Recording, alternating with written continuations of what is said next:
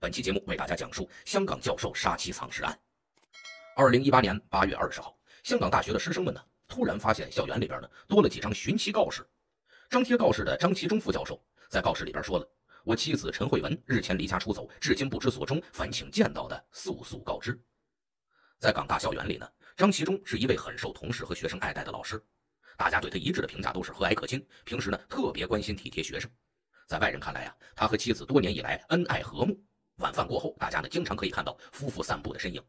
因此呢，大家对这则寻妻告示也没多想，都以为啊师母只是因为口角啊，俩人闹了点小情绪，离家出走了。可是几天之后，接到报案的警方进入校园着手调查的时候，人们才感觉到这件事情啊没有那么简单。报案的正是张其中，他告诉警方，十六号晚上自己因为家庭琐事与妻子呢发生了争执，之后两口子呀各自睡觉。第二天凌晨就不见妻子的人了，拨打电话也无法联络，只好报警求助。因为张其中和家人呢一直居住在香港大学一座名为伟伦堂的宿舍楼里，警方马上就调取了这里的监控录像。结果通过翻看监控记录啊，并没有发现陈慧文离开宿舍楼的身影。凭借警方的经验，一个连居住地都没离开的人却凭空失踪了，往往失踪人会遭遇不测。于是警方马上把案件交给重案组调查。重案组呢随即调取了校园里的所有监控，逐一查看。虽然依然没发现陈慧文的踪迹，不过警方却发现一个很不正常的画面。十七号深夜，张其中曾经把一个大型的木头箱子搬进了自己办公大楼里边。因为这个木箱子过于可疑，警方于是大胆推测，杀害陈慧文的会不会就是报案人张其中呢？就在警方将怀疑的目光对准张其中的时候，张其中啊仍然通过社交平台安慰大伙说：“近期警方呢会多次对我和相关场所进行调查，大家不要因此感觉不安。”明明妻子很可能已经遇难了，却这样为大家着想，很多人呢还挺感动的。你看张老师啊，人家出这么大事人还想着安慰我们呢。几乎没有人把张启忠和凶手联系起来。可是仅仅一天之后，剧情来了一个惊天大逆转。八月二十八号下午，重案组突击搜查张启忠位于港大的办公室，最终在一个角落里边发现了那个大木箱。这个木头箱子呀，被大量的报纸杂志所掩盖着，所有的缝隙都用玻璃胶密封起来了。打开之后啊，发现里边呢。还有一个行李箱，箱底渗出的血水让人是触目惊心，散发着的强烈的恶臭味更是让人忍不住的干呕。打开行李箱前，死者正是陈慧文本人。只见女尸身上只穿着内衣内裤，因为死亡时间比较长了，已经开始发胀腐烂。在她脖子那儿呢，警方发现了一根深深勒入肉里的黑色电线。据此，警方初步判断，死者生前是被人勒死之后藏尸在行李箱里，再放进自制的密封木箱里，防止尸臭味飘散出来。极有可能是凶手想等到风头过后再实施抛尸行为。因为死者呀出现在张其中的办公室里，警员呢就怀疑张其中涉嫌杀妻藏尸，当天就以涉嫌谋杀将他拘捕候审。当张其中被戴上手铐，带上黑色纸袋押入警车，装有女尸的木箱被警方推出来的时候，广大的师生们是一片哗然，人们不敢相信呐。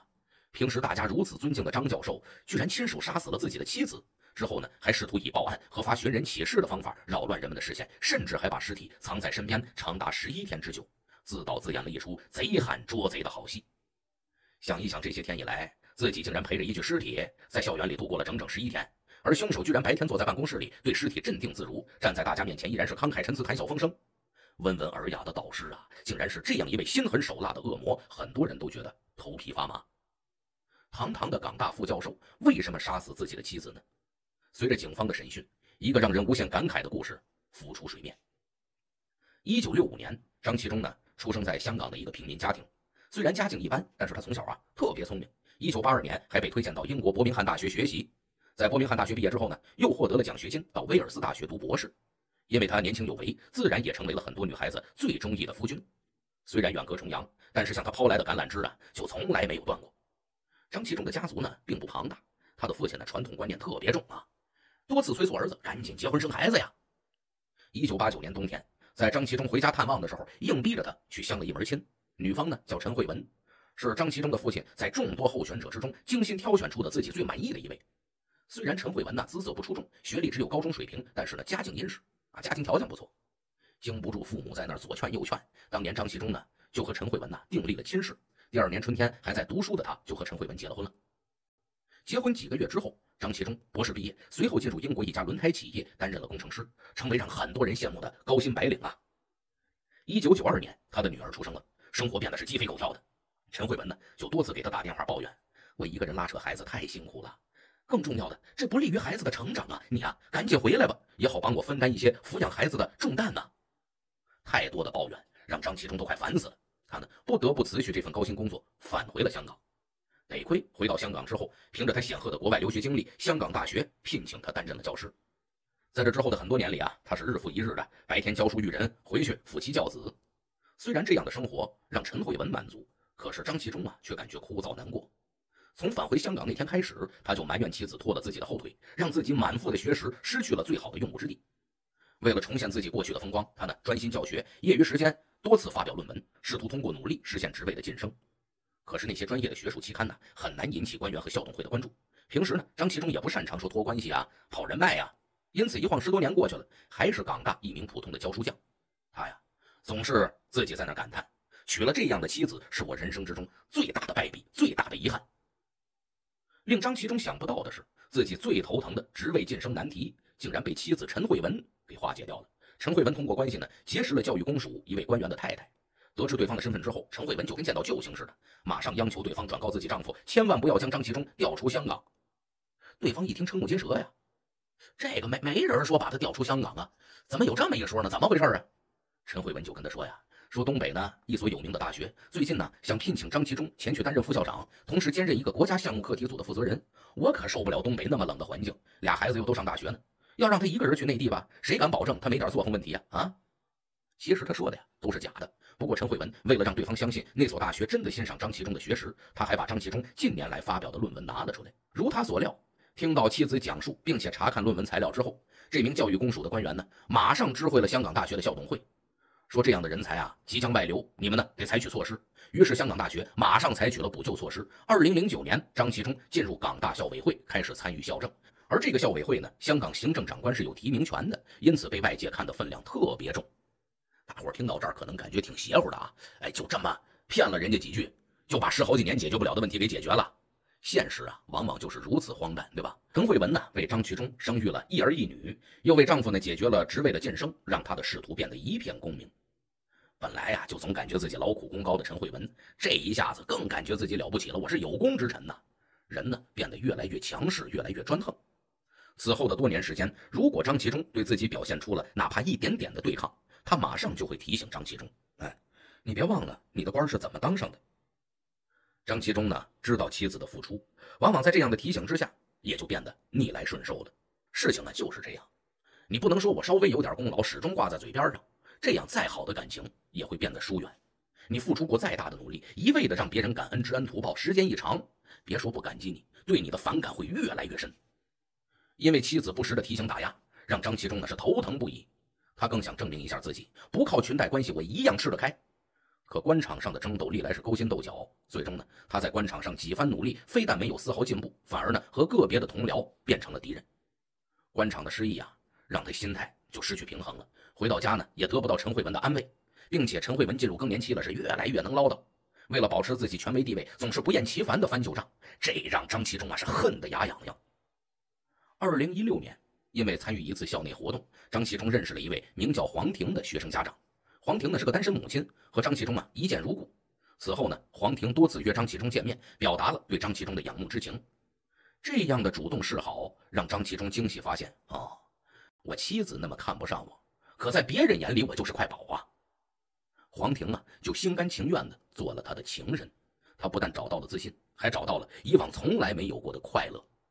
他再回家瞅着陈慧文，是怎么看怎么不顺眼。原来就不顺眼，现在是更不顺眼了。自此，这个一直比较和睦的家庭不再有忍让了，开始频频地出现争吵。虽然有时候张其中呢还会和妻子饭后散步，扮演着夫妻恩爱的假象，可是他的心早就不在妻子身上了。一有时间呢，就跑到黄婷身边。一直以来，子女呢都是张其中的骄傲。俩孩子呀，从小学习出色。如今呢，张其中那二十八岁的长女在廉政公署任职调查员，二十六岁的儿子呀选择了当一名牙医。大伙都知道，牙医可是一个社会地位极高、挣的特别多的一个行当。二零一八年八月十六号晚上，张其中的女儿陈娟刚上完厕所，陈慧文呢发现她没有把马桶冲洗干净，当场就训斥起了女儿。为这件琐事呢，就唠唠叨叨的没完。陈娟呐，也不喜欢她妈妈，认为话太多了，太烦了，太不可理喻了，毫不客气的就顶了嘴了。母女俩呢，互不相让，越吵越火，最后再也不想在家里住下去了，当场离家出走。女儿这一走，没有发现目标的陈慧文马上将炮火对准了丈夫。你呀你啊，平时和我不在一个战壕里，为什么跟女儿争执的时候你不来帮我的忙呢？平时让自己唯命是从也就罢了，现在连这些事儿也要让自己左右为难。张其中气不过，俩人呢又发生了争执。女儿不听话离家出走，丈夫又要造反，陈慧文这个气呀，怒骂之中呢，平时那套训斥张其中的陈词滥调又翻出来了。靠老婆的男人，你个窝囊废！张其中啊，平时本来就受够了这个女人，在这样的辱骂之中，怒火终于还是爆发出来。顺手抓过手边的一条电线，不管不顾的勒到了妻子的脖子上，边勒边喊着：“我让你骂，我让你骂！”猝不及防的陈慧文只顾双手去抓电线，等张其忠稍微冷静下来的时候，发现陈慧文已经没有了呼吸。犯下命案之后，张其忠想到的不是投案自首，而是如何逃过法律的制裁。最终想出了自认高明的贼喊捉贼的方法。可是啊，最终聪明反被聪明误。二零一八年八月三十号。在张其忠杀妻案庭审现场，检方认为张其忠被控故意杀人，事实清楚，行为恶劣，后果严重，社会影响极坏，并且从案发至今，张其忠从未有认罪悔罪的行为，因此建议法院依法不予从轻、减轻处罚，而张其忠也得到了法律的严惩。其实说回来，在我们的现实生活之中，有很多女强男弱、男强女弱的情况，往往啊，强势的一方就会认为我为这个家做出了多大多大的贡献啊，你呢一直是享受着我辛勤努力的成果。夫妻之间再好的感情呢，也经不住这样的吵闹，这样的争执。任何一个恩爱和睦的家庭，都是夫妻双方共同努力的结果。这种努力不是说你这个月往家挣多少钱，我这个月往家挣多少钱，这个是不划等号的，是不能用金钱来衡量的。当在外面挣钱养家的丈夫感觉自己辛苦劳累的时候，你啊，不妨抽出两天时间来，在家里面专心的照顾孩子，当两天全职爸爸，洗衣服、做饭、擦屎、擦尿，你都管了。这时候你就能体会妻子的不容易了。当妻子在家里面照顾孩子的时候，总是感觉自己特别累；而丈夫在家里什么事情都不管的时候，你呢也不妨抽出来一个月、两个月的时间，给自己定一个目标：我呀不管孩子了，我想办法挣上来一万块钱，挣上来三万块钱，挣上来五万块钱，再体会一下丈夫在外面的这种辛劳，就是将心比心嘛，才能推心置腹啊！推心置腹了，这才能和谐美满呢。行了，今天节目呢就到这里了，更多内容咱们下期节目。